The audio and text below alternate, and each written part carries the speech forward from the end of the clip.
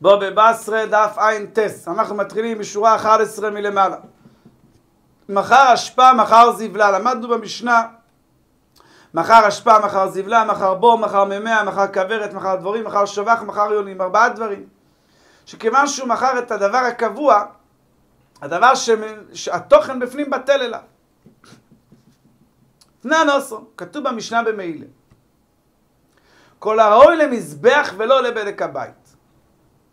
לבדק הבית ולא למזבח. או לא למזבח ולא לבדק הבית. אלא סתם של הקדש. ראוי למזבח, רשב"ם אומר כמו כגון תורין, בני עונה, סולת, לבונה, יין ושמן, שהם עצמם יכולים לעלות אותם למזבח. בדק הבית זה דבר שנקבע בבניין, כגון זהב וכסף, אבנים יקרות. ומשהו לא זה, לא זה ולא זה, כגון חלב, גבינה, מורייס, אשפה, עשבים, שהקדש מוכר את זה ולוקח את הכסף. כל הדברים האלה, מועלים בהם ובמה שבתוכם. כיצד? הקדיש בור מלא המים, אשפות מלאות זבל, מים, ראוי לבדק הבית, אפשר לעשות מזה טיט, זה לא ראוי למזבח. זבל ראוי למכירה, לא לבדק הבית ולא למזבח.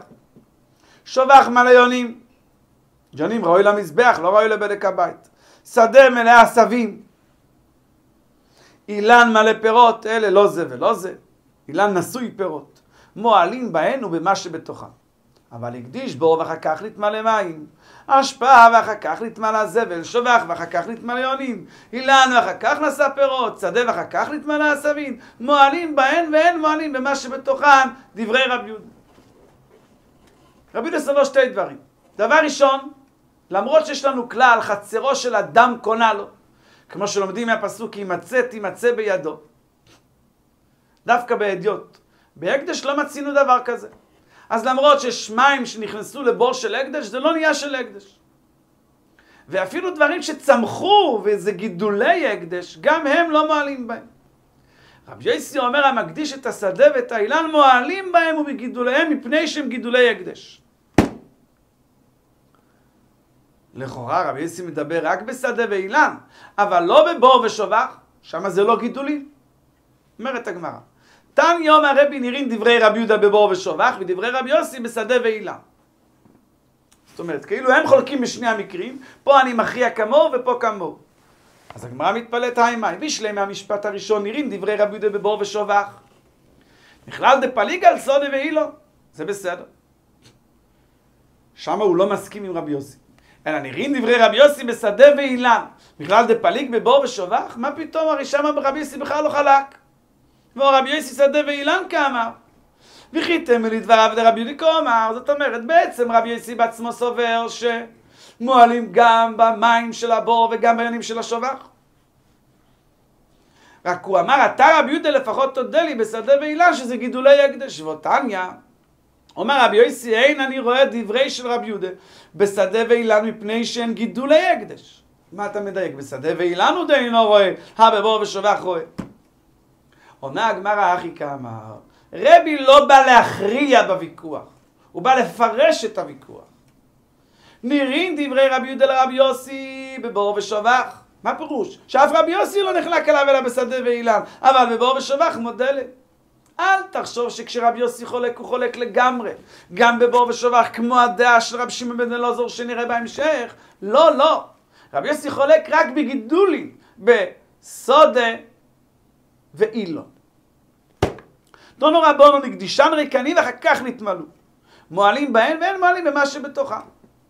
רב זאת, ורב שמעון אומר, אף מועלים במה שבתוכם. למה? הגמרא תבהר עוד מעט. עומר רב במחלוקת בשדה ואילן, דתנא קמא סבר לה כרב יהודה, שלא מועלים בגידולים. רב לא זאת, ורב שמעון סבר לה כרב יוסי שמועלים בגידולים. אבל בבור ושובח דברי הכל מועלים בהן, ואין מועלים במה שבתוכם, כיוון שזה לא גידולים.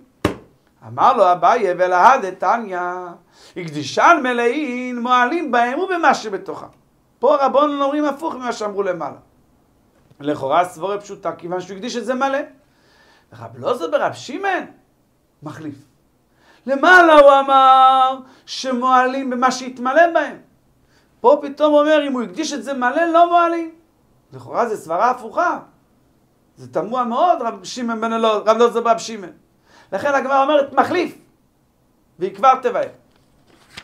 אז אומרת הגמרא ככה, אם השדה ואילן, אם כל הוויכוח שלהם זה בגידולים, המים מחליף. אם בדבר שגדל אחר כך הוא אומר שזה קדוש, כל שכן דבר שהיה כבר בזמן ההקדשה.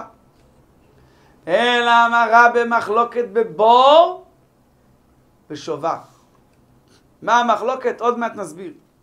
אבל בשדה ואילן דברי הכל מועלים בהם, ובמה שבתוכן לכולן ממועלים בגידולים. ומה הוויכוח? ובבור ושובח בריקנים במאי פליגה, ובמלאים במאי פליגה. בריקנים פליגה בפלוגתא דרב מאיר ורבונו. ותנא קמא סבר כרב סבר לה כרבנן דאמרי, אין אדם מקנה דבר שלא בא לעולם. אז למרות שהוא הקדיש להקדש את הבור, הוא לא יכול להקדיש את המים שיבואו מחר לבור. לכן זה לא קדוש. ורב לא זה ברב שמעון סבר כרב מאיר דאמר אדם מקנה דבר שלא בא לעולם, אז הוא הקדיש את המים שעתידים לבוא. הגמרא מתפלאת, אימו דשמט לילה רב מאיר, כגון פירות דקל דוד דעתו. וכאן הרשב"ם אומר חידוש, שכל מה שאנחנו מכירים, מאיפה אנחנו יודעים שרמר סבר אדם מקנה דבר שלא בא לעולם? רמר אומר, אדם שאומר לאישה, הרי את מקודשת לי לאחר שתתגיירי. לאחר שתתגייר היא מקודשת. אומר רשב"ם, שם מדובר שהיא עומדת להתגייר, או שהוא עומד להתגייר. כגון פירות דקל שעתידים לבוא, אבל הנה, מי אמר שיבואו מים לבור? מי אמר דעשו? מי אמר שיבואו יונים לשובח? רוב ומשכחס לו, במים הבאים דרך חצרו לבור, הבור עומד במדרון, וכל המים יורדים לבור. ויונים הבאים דרך שובחו לשובח, יש לו שובח על יד, שהיונים פורחים וייכנסו לשובח הזה. ובמלאים במאי פליגי, אומר רוב וכגון שהקדיש בור סתם. רב לוזו ברב שמעון סבר לה כעבור. ואמר דנים דין גבוה מדין אדיוט.